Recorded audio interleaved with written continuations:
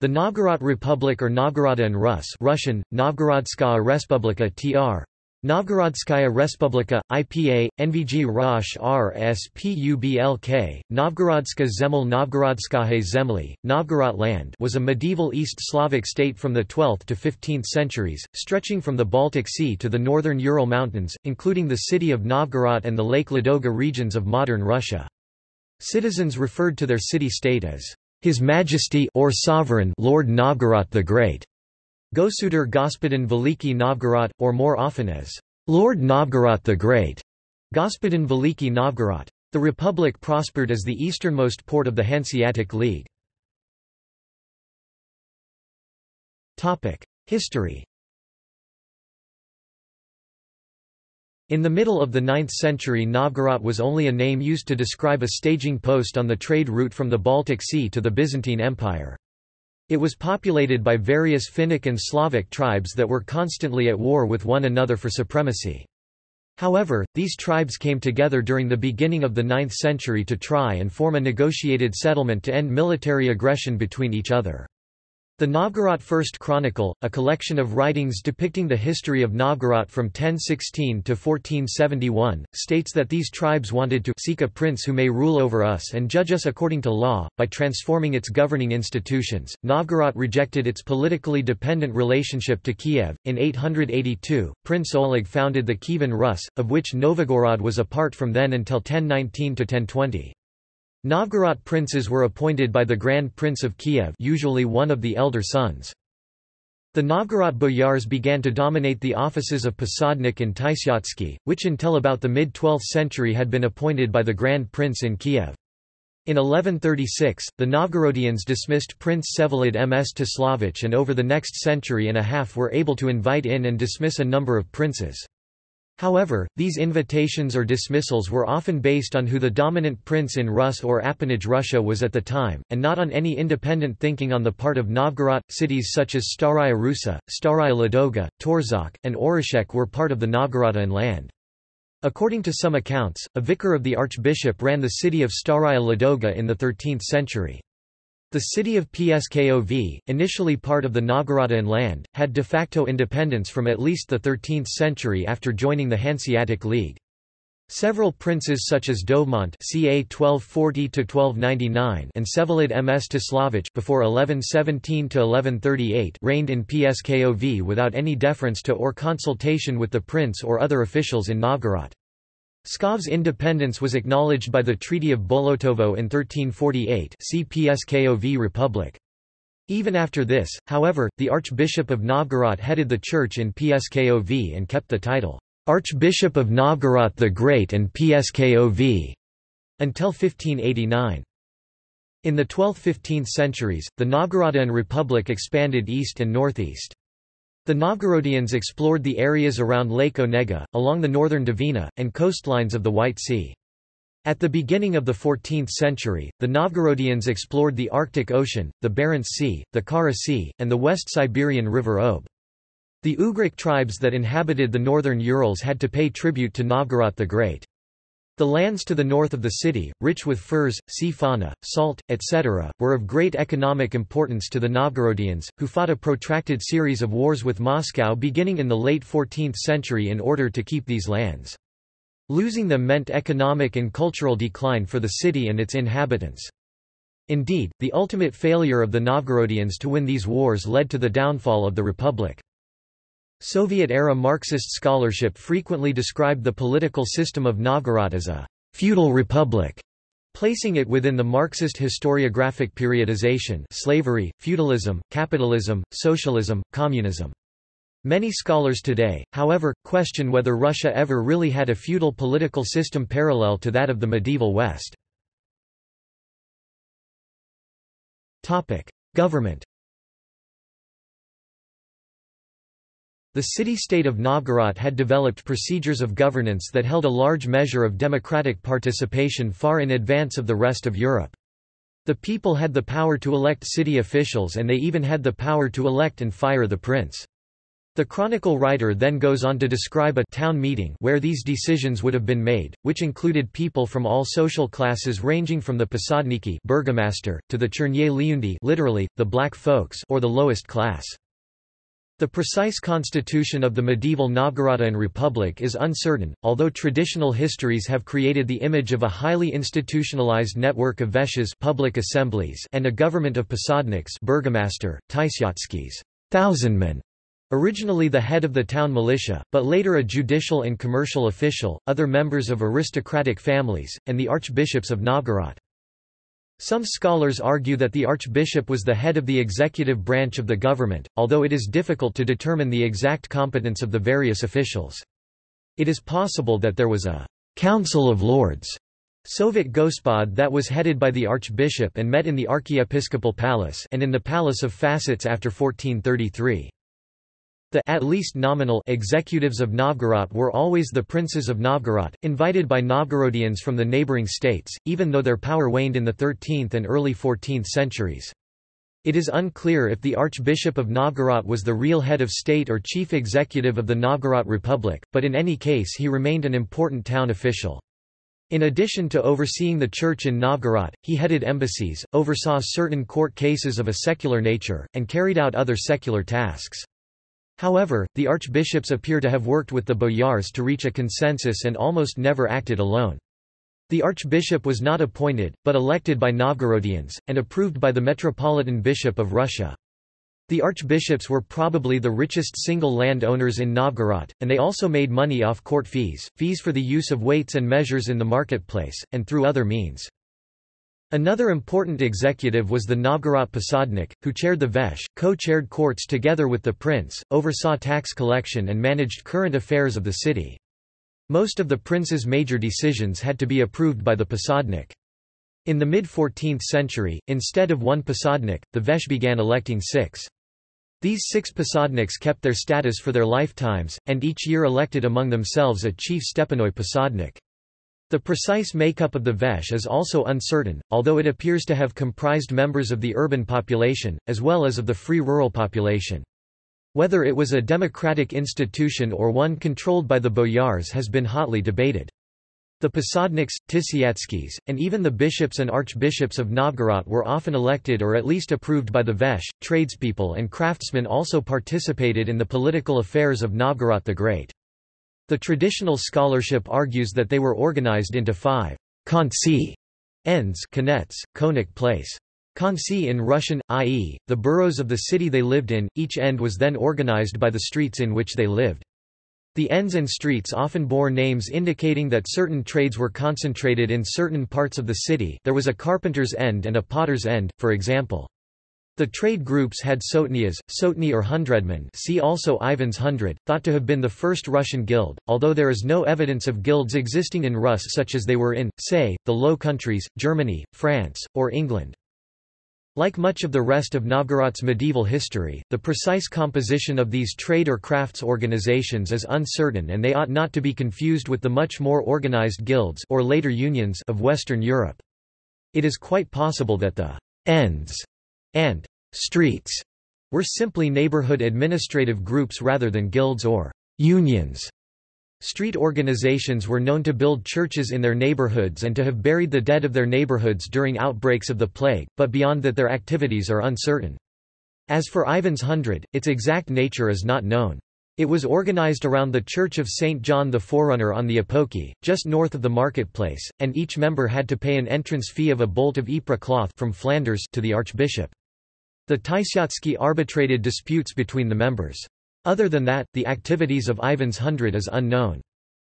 Streets and ends may have taken part in political decision-making in Novgorod in support of certain boyar factions or to protect their interests.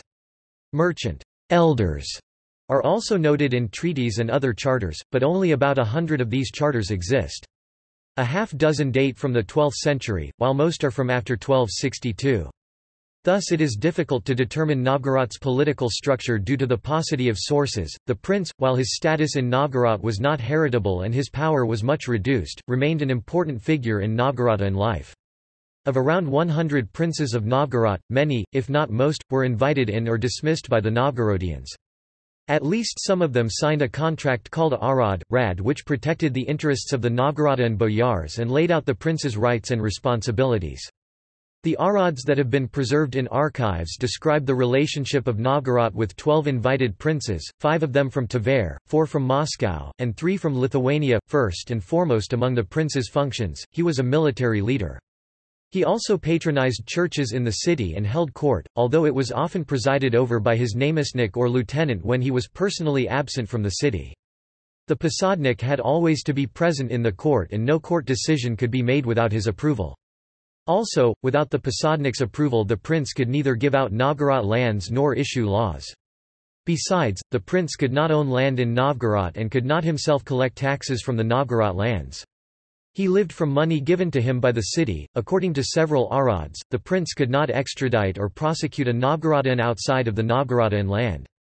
The princes had two residences, one on the marketplace called Yaroslav's court, after Yaroslav the Wise, and another, Gorodis Ryurkovo Gorodish several miles south of the market side of the city. The administrative division of Novgorod Republic is not definitely known. The country was divided into several taisyachs in the core lands of the country and volosts lands in the east and north that were being colonized or just paid tribute. The city of Novgorod and its vicinity, as well as a few other towns, were not part of any of those. Pskov achieved autonomy from Novgorod in the 13th century, its independence was confirmed by the Treaty of Bolotovo in 1348. Several other towns had special status as they were owned jointly by Novgorod and one of the neighboring states. The leaders of Rus during the 15th century after the Mongol yoke had a serious decision to make. Either they could change from the Mongol style of ruling and lean towards a governance resembling Novgorod with its elections and full societal involvement, or they could continue to follow the Mongol style of ruling. Some examples of this form of governance can be seen in some of the court practices adopted by the new government. The practice of chelabaiti, literally meaning, to beat one's head against the ground. This was the way the great Khans demanded the Rus leaders come before them, and this practice was continued. The next and most striking similarity between these two systems of governments would be the emphasis on an autocratic, militarized state. Economy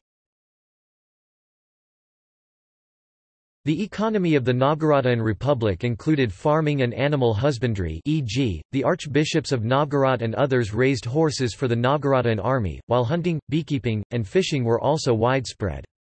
In most of the regions of the republic, these different industries were combined with farming. Iron was mined on the coast of the Gulf of Finland. Staraya Russa and other localities were known for their salt works. Flax and hop cultivation were also of significant importance. Countryside products, such as furs, beeswax, honey, fish, lard, flax, and hops, were sold on the market and exported to other Russian cities or abroad. The real wealth of Novgorod, however, came from the fur trade. The city was the main entrepot for trade between Rus and northwestern Europe. It stood on the northwestern end of the Silk Road from China and at the eastern end of the Baltic trade network established by the Hanseatic League.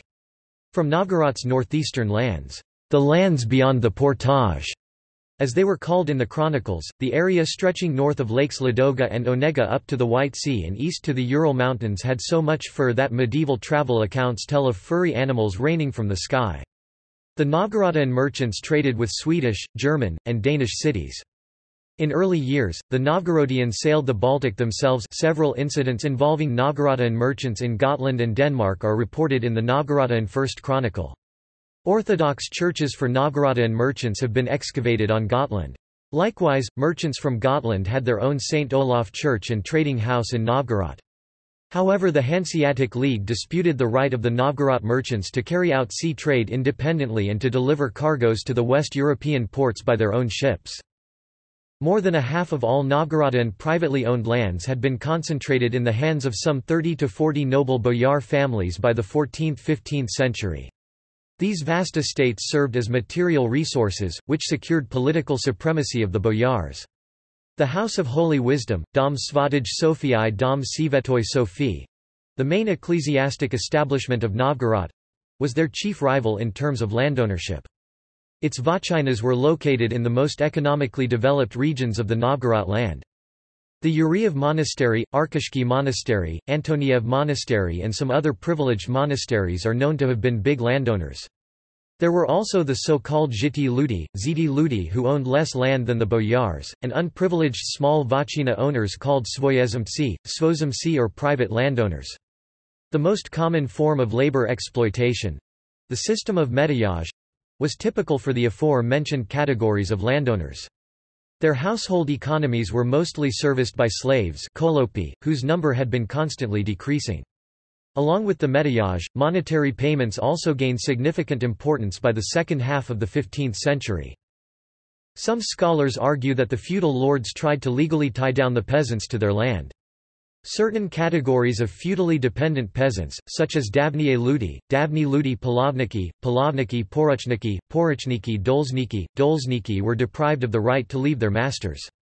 The boyars and monasteries also tried to restrict other categories of peasants from switching their feudal lords. However, there was a tradition in Russia that peasants could leave their land if they had paid all their debts. They were able to leave during the weeks preceding and coming after St. George's Day in the autumn. This tradition was temporarily suspended only by Ivan the Terrible, more than a century after the Muscovite conquest of Novgorod, thus full serfdom never existed in the Novgorodian Republic. The temporary suspension was, in fact, never lifted and serfs were formally tied to their land by the Ulozhenie law code of 1649. Marxist scholars e.g., Alexander Khoroshev often spoke of class struggle in Novgorod. There were some 80 major uprisings in the Republic, which often turned into armed rebellions. The most notable among these took place in 1136, 1207, 1228–29, 1270, 1418, and 1446–47. The extent to which these were based on «class struggle» is unclear. Many were between various boyar factions or, if a revolt did involve the peasants or tradesmen against the boyars, it did not consist of the peasants wanting to overthrow the existing social order, but was more often than not a demand for better rule on the part of the ruling class. There did not seem to be a sense that the office of prince should be abolished or that the peasants should be allowed to run the city. Foreign relations During the era of Kievan Rus, Novgorod was a trade hub at the northern end of both the Volga trade route and the route from the Varangians to the Greeks, along the Dnieper River system. A vast array of goods were transported along these routes and exchanged with local Novgorod merchants and other traders. The merchants of Gotland retained the Gothic court trading house well into the 12th century. Later German merchantmen also established trading houses in Novgorod. Scandinavian royalty would intermarry with Russian princes and princesses. Hansa, Sweden and Livonian Order After the Great Schism, Novgorod struggled from the beginning of the 13th century against Swedish, Danish, and German crusaders. During the Swedish Novgorodian Wars, the Swedes invaded lands where some of the population had earlier paid tribute to Novgorod. The Germans had been trying to conquer the Baltic region since the late 12th century. Novgorod went to war 26 times with Sweden and 11 times with the Livonian Brothers of the Sword. The German knights, along with Danish and Swedish feudal lords, launched a series of uncoordinated attacks in 1240–1242. Novgorod and sources mention that a Swedish army was defeated in the Battle of the Neva in 1240. The Baltic German campaigns ended in failure after the battle on the ice in 1242. After the foundation of the castle of Vyborg in 1293 the Swedes gained a foothold in Karelia. On August 12, 1323, Sweden and Novgorod signed the Treaty of Noteborg, regulating their border for the first time. Mongol invasion and its aftermath The Novgorod Republic managed to escape the horrors of the Mongol invasion because it was the only Rus principality to preemptively and peacefully submit to the Mongols. Instead being formally conquered, the republic paid a large bribe to Subutai in 1241, agreed to become a vassal, and later began to pay tribute to the Khans of the Golden Horde. In 1259, Mongol tax collectors and census takers arrived in the city, leading to political disturbances and forcing Alexander Nevsky to punish a number of town officials he cut off their noses for defying him as Grand Prince of Vladimir soon to be the Khan's tax collector in Russia and his Mongol overlords. In the 14th century, raids by Novgorod pirates, or Ushkuiniki, sowed fear as far as Kazan and Astrakhan, assisting Novgorod in wars with Muscovy. Culture Topic: Art and iconography The Republic of Novgorod was famous for its high level of culture in relation to other Russian duchies like Suzdal. A great majority of the most important Eastern artwork of the period came from this city. Citizens of Novgorod were producing large quantities of art, more specifically, religious icons. This high level of artistic production was due to the flourishing economy. Not only would prominent boyar families commission the creation of icons, but artists also had the backing of wealthy merchants and members of the strong artisan class. Icons became so prominent in Novgorod that by the end of the 13th century a citizen did not have to be particularly rich to buy one, in fact, icons were often produced as exports as well as for churches and homes. However, scholars today have managed to find and preserve only a small, random assortment of icons made from the 12th century to the 14th century in Novgorod. The icons that do remain show a mixture of traditional Russian style, Paleologous Byzantine style prominent previously in Kiev, and European Romanesque and Gothic style. The artists of Novgorod, and their audience, favored saints who provided protection mostly related to the economy.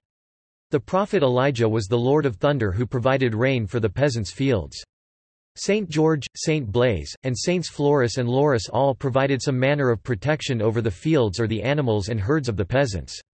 Saint Paraskeva Pyatnitsa and Saint Anastasia both protected trade and merchants. Saint Nicholas was the patron of carpenters and protected travelers and the suffering. Both Saint Nicholas and the prophet Elijah also offer protection from fires. Fires were commonplace in the fields and on the streets of the city. Depictions of these saints retained popularity throughout the entire reign of the Republic. But in the beginning of the 14th century another icon became prominent in the city, the Virgin of Mercy. This icon commemorates the appearance of the Virgin Mary to Andrew Yurodivy in Epiphany. During this appearance, Mary prays for humankind. The art movement of Novgorod was essentially destroyed by Moscow after 1478, when a more uniform method for iconography was established throughout Russia. Architecture and city layout The Volkhov River divided the Republic of Novgorod into two halves. The commercial side of the city, which contained the main market, rested on one side of the Volkhov. The St. Sophia Cathedral and an ancient Kremlin rested on the other side of the river. The cathedral and Kremlin were surrounded by a solid ring of city walls, which included a bell tower. Novgorod was filled with and surrounded by churches and monasteries. The city was overcrowded because of its large population of 30,000 people. The wealthy boyar families, artisans, and merchants lived in large stone houses inside the city walls, and the poor used whatever space they could find. The streets were paved with wood and were accompanied by a wooden water pipe system, a Byzantine invention to protect against fire. The Byzantine style, famous for large domes, and the European Romanesque style influenced the architecture of Novgorod. A number of rich families commissioned churches and monasteries in the city. About 83 churches, almost all of which were built in stone, operated during this period. Two prominent styles of churches existed in the Republic of Novgorod. The first style consisted of a single apse with a slanted roof. This style was standard throughout Russia during this period. The second style, the Novgorodian style, consisted of three apses and had roofs with arched gables. This second style was prominent in the early years of the Republic of Novgorod and also in the last years of the Republic, when this style was revitalized to make a statement against the rising power of Moscow. The inside of the churches contained icons, wood carvings, and church plates. Literature Scholars generally believe that the Republic of Novgorod had an unusually high level of literacy for the time period. Archaeologists found over 1,000 birch bark texts, all dating from the 11th to the 15th centuries, in towns dating back to the early Rus. Roughly 950 of these texts were from Novgorod. Archaeologists and scholars assume that fires destroyed a majority of Novgorod's written works and that about 20,000 similar texts still remain hidden in the city. Novgorod citizens from all class levels, from boyars to peasants and artisans to merchants, participated in writing these texts. Even women wrote a significant amount of the manuscripts. This collection of birch bark texts consists of religious documents, writings from the city's archbishops, business messages from all classes, and travelogues, especially of religious pilgrimages. The citizens of Novgorod wrote in a realistic and businesslike fashion.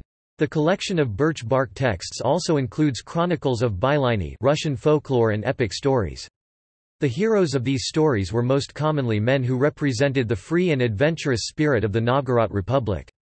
One popular figure of the time was Sadko, a businessman and traveler.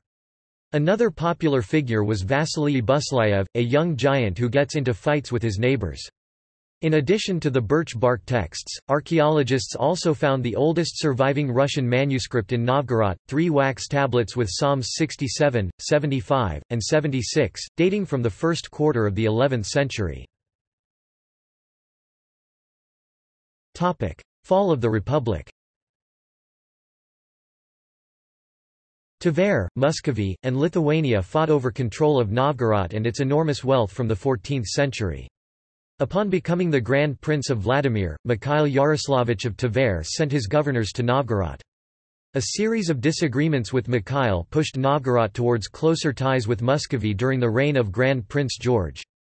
In part, Tver's proximity the Tver Principality is contiguous with the Novgorodian land threatened Novgorod. It was feared that a Tverite prince would annex Novgorodian lands and thus weaken the republic. At the time, though, Muscovy did not touch Novgorod, and since the Muscovite princes were further afield, they were more acceptable as princes of Novgorod. They could come to Novgorod's aid when needed but would be too far away to meddle too much in the republic's affairs. As Muscovy grew in strength, however, the Muscovite princes became a serious threat to Novgorod. Ivan Kalita, Simeon the Proud, and other Muscovite monarchs sought to limit Novgorod's independence. In 1397, a critical conflict took place between Muscovy and Novgorod, when Moscow annexed the Dvina lands along the course of the northern Dvina. These lands were crucial to Novgorod's well-being since much of the city's furs came from there. This territory was returned to Novgorod the following year. Resisting the Muscovite oppression, the government of Novgorod sought an alliance with Poland-Lithuania. Most Novgorod and boyars wished to maintain the republic's independence since if Novgorod was to be conquered, the boyars' wealth would flow to the Grand Prince and his Muscovite boyars and the Novgorodians would fall into decline. Most of them didn't earn enough to pay for war.